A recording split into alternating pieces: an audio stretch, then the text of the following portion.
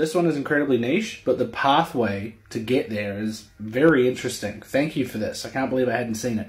Day 34 for a Norwegian, Thor Heyerdahl. Let's go.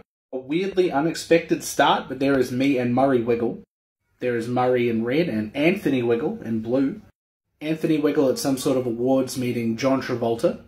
Here is John Travolta in Grease, and the man who plays Vince Fontaine is an actor called Edd Byrnes. Earlier on in his career, Edd Byrnes was in a movie called 77 Sunset Strip alongside French American actress Jacqueline Beer. And then Jacqueline Beer ended up marrying the famous Norwegian explorer Thor Heyerdahl.